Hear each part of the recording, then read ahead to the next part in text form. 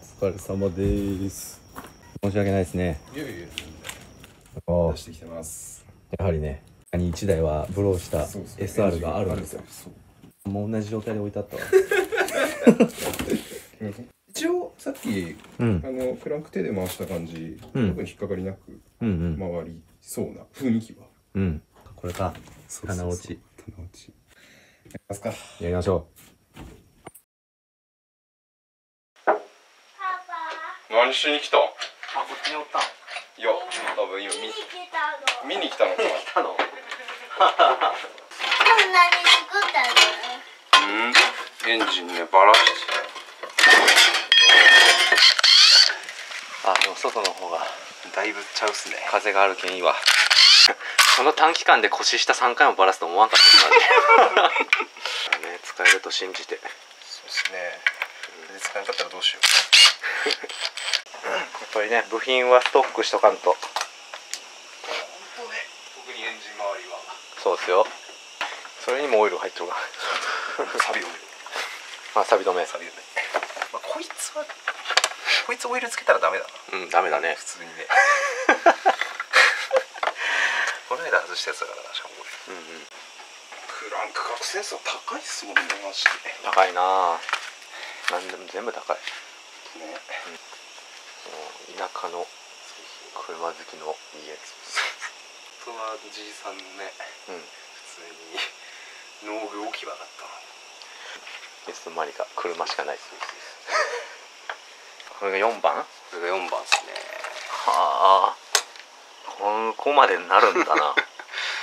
ねいやびっくりしたな。うわ。どうかな？あいってるな。これは多分もうピストンの溶けた破あ。片がまあちょっとなかなかだな。あ向こうが見えてるもんな。ね。あすごい。スムーズだ。これスムーズだな。あれこれが普通ではない。これが普通なのでは。普通だな。うん。こうならなかった。なら全然ならん。なるほど。むしろこれ組んだ直後みたいなぐらいな。本当ね。これこれこそ綺麗だな中身。うん素晴らしいな。はそれだけ真心かけてうんオイル管理しとった。かそうですよ。そのやつがブローなんて鼻押しなんて。いい綺麗。感じですね綺麗。こっちもクランクもね綺麗ですね。まあちょっとあサビはね。サビはここはいい。うん。ここがそう。大丈夫だろ大丈夫。全然綺麗。こってこっうん。とバッチリ使ってくださいこれを。ああ。本当にあの無理をしたこ無理してブースト上げたこと以外は。うん。全く問題なかったですねそれがだいぶ問題だけどな。6キロ。1.6キロ。いやあのブーコンが壊れてね無理して上がっちゃった。上がっちゃった。無限ブースト。無限ブースト。すっごく速かったっすよ、へーチタン純正タービンなのに。タービンちっちゃいから、ん。すごい鋭い加速をするんですよ。あ立ち上がりがそう。超速えボン。それはなるわなこうピストンに穴が開くわ。本当ね。いい仕事だった。あねりがとうございました。いえいえ全然全然。今から組むわけですよね。絶対カットされてあの次あの朝になってるわ。あ昼間になってるわ。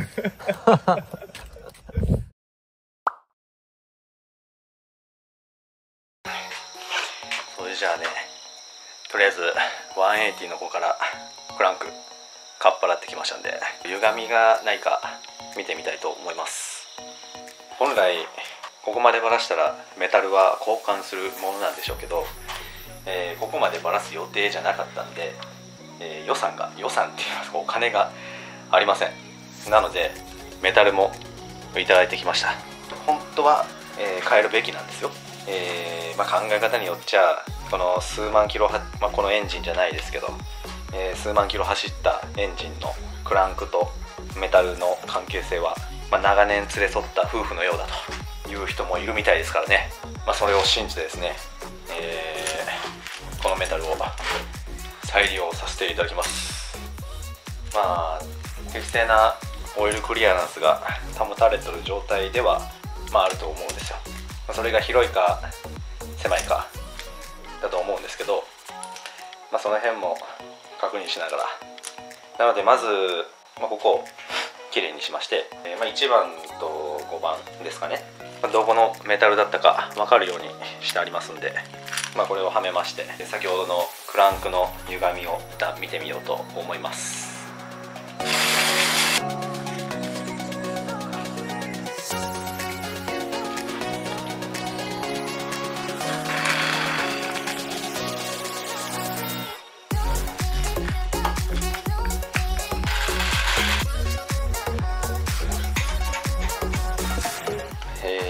すごくいっぱいいっぱいな見た目ですけど当たってません。じゃあちょっと回してみます。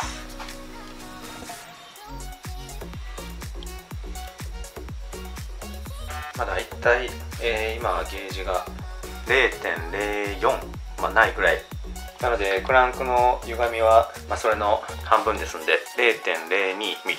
全然 OK ですね。じゃあこれ使って直していきます。れじゃあ後回しにしとったこのブロックの、清掃の方をやっていきます。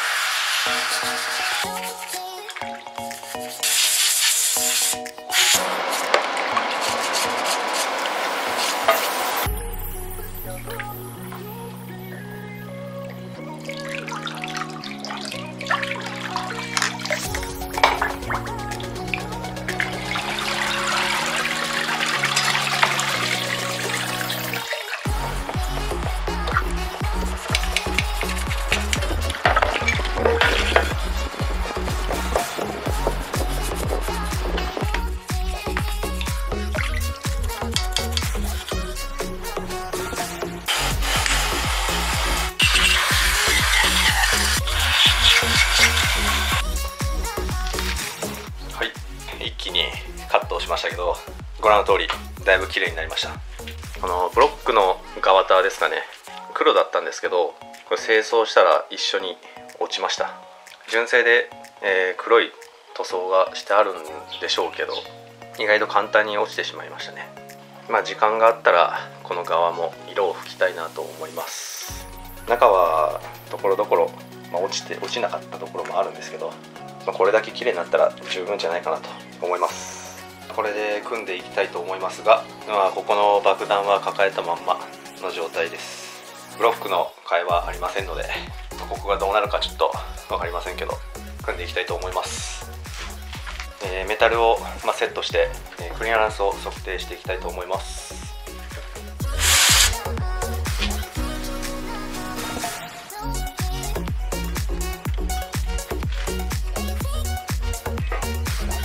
プラスチゲージで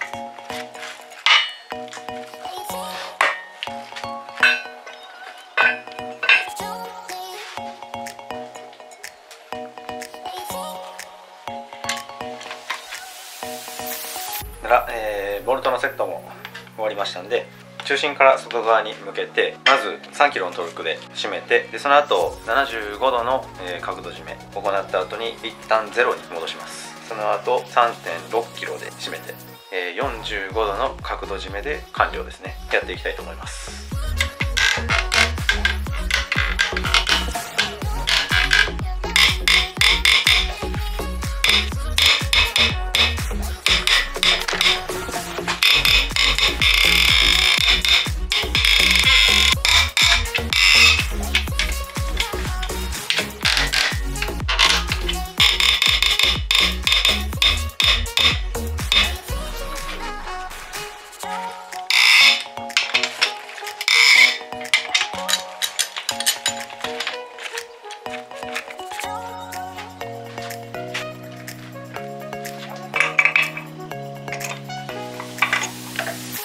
まず SR の場合ですけど基準値が0.004から0.022ミリまで。で、えーこのプラスチゲージがですねなんぼ測れても0.025よりは大きいものは大きいというか狭いものですか、えー測れないんですけどまあこれより幅が大きかったら、まあ、基準値内っていうことですね。で見ていくとまず1番が見えますかね。こんな感じですね。まあこれは基準値内だと思います。で2番もいい感じですね。で3番いいと思います。4番もいいですね。で5番なんですけどこの中ちょっと、まあ、クリアランスが広いんですよね。潰れ幅が小さいんでクリアランスが広いってことになりますけど、まあ、0.038ぐらいですか。0.051よりは大きいので、まあ、0.038ですかね。で基準値内ではないんですけど一応限度値が 0.05mm までですんで、まあ、限度値は超えてないということなんで、まあ、このままいきたいと思います。なのでこの測ったゲージ寄りのカスですねをきれいに取りましてでオイル塗ってでまた同じように組んでいきます。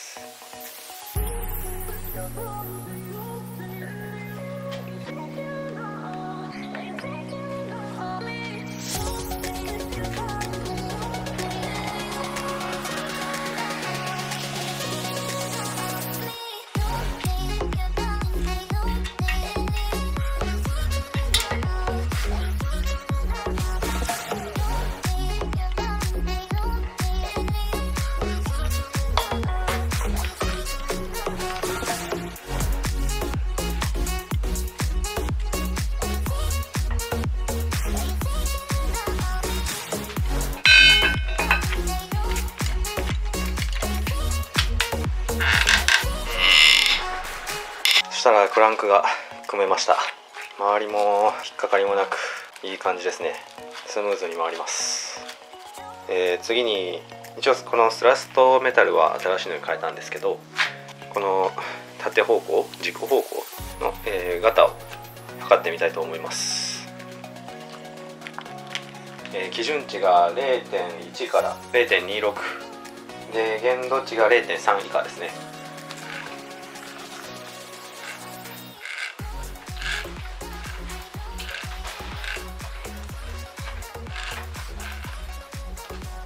今なんぼですかね。この辺とこのぐらいでしたかね。だいたいこの辺からここぐらいですね。なのでざっと0.2ぐらいだと思うんですけど基準値内なんで OK だと思います。ではピストン組んでいって、えーコンロードのメタルのクリアランス等も測っていきます。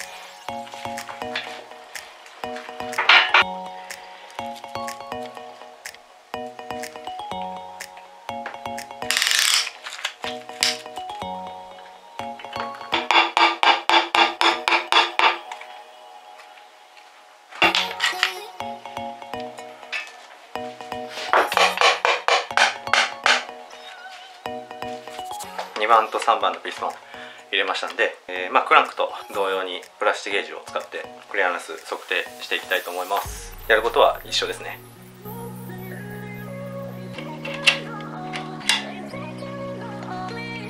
そしたらこのナットを規定トルクで締めるんですけれど SR はこのベアリングビームこいつがあってですね、まあ、このコンドットのナットが締めにくいんですよね。でクランクがまあ動いちゃったらいけませんので、まあ、動かんように気をつけてまあやりますけど、えーまずトルクがえー 1.5kg で締めてその後、えー60度のえー角度締めになります。ではやっていきます。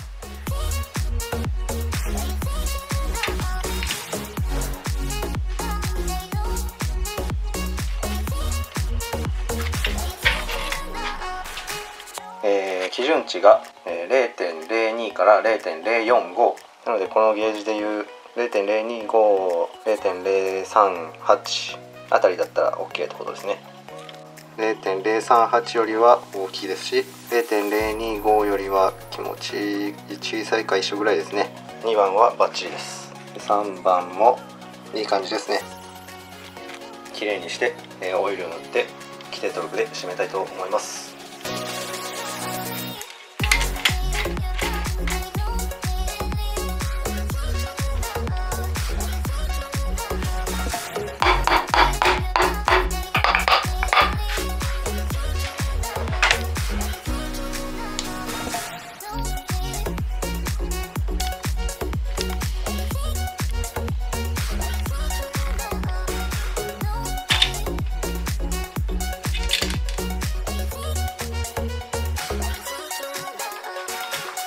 4気筒とも組めました。周りもスムーズだと思いますね。どっかで重たくなるとかもありませんのでいい感じです。ブロックをきれいにするときにガスケット面もきれいにしとけばよかったですけど忘れてました。まあなるべくこのウォーターラインとかオイルの穴に入らないようにきれいにしておきたいと思います。まあある程度ガスケット面もまあ取れたっちゃ取れたんで、まあ、どうしてもねあの面形に出してるわけじゃないんでこういうのは残っちゃうんですけどまあこのヘッド面の歪みも測定して、まあ、0.1ミリ以下でしたんで問題はないと思います。でブロックの方もだいぶ汚れを落として、まあ、結構綺麗には見えると思うんですけど、まあ、実際はあんまりあんまりっていうかまあまあアルミの素地ですかね。せっかくここまでバラしとるんでまあちょっと小綺麗に見えるように色も塗ろうと思います。なので、えー、養生の方ちょっとやっていきます。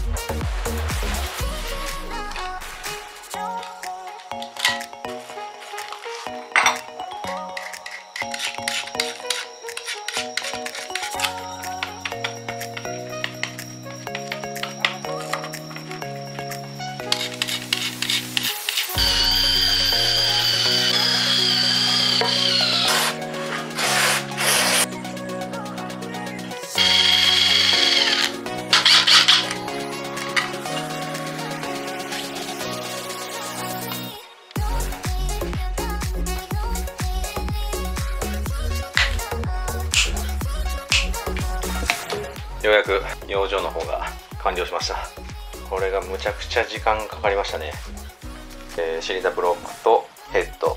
あとこれが何て言うんですかね。オイルパンの第2とか言うんですかね。チェーンのカバーとか、えーリアのシールの部分のとかも一緒に塗るんですけどできればこのインマニも一緒にバラして塗りたかったんですがもうちょっと時間に余裕がないのでインマニは最悪後で外すことができますんで今回はとりあえず塗装せずにいきたいと思います。塗料はおなじみのこれですね。本当はこのブロックとかを、まシルバーじゃない色に塗ってみたかったんですけどシルバーかクリアかブラックでしたっけね。しかそのホームセンターに置いてませんでしたのでいつも通りシルバーメタリックですね。ラッカーのように見えますけど2液のウレタンスプレーです。じゃあ塗っていきましょう。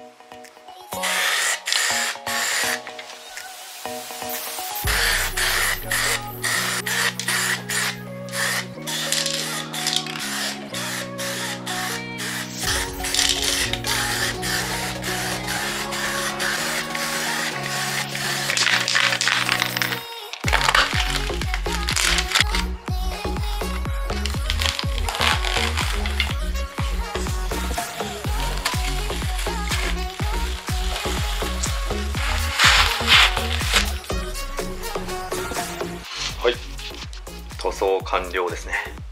いい感じじゃないですか。うん。素晴らしいですね。